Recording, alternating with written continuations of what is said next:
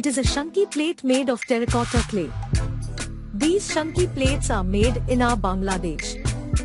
These shanki plates are carefully crafted by skilled artisans who are well versed in the art of clay crafting. These shanki plates are made of only clay and water. These shanki plates are beautifully crafted. These shanki plates are made of clay but very strong. These shanki plates are eco-friendly.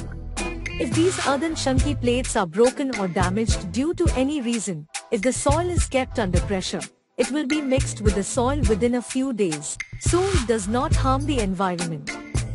Curries, pulses, etc. are kept in these clay shanki plates to give a special flavor to the food.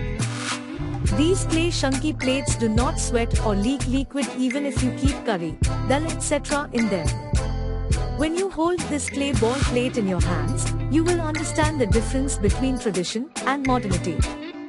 Enhance the taste of food and use eco-friendly materials by using our beautiful and durable clay shanki plate. Length 24 centimeters.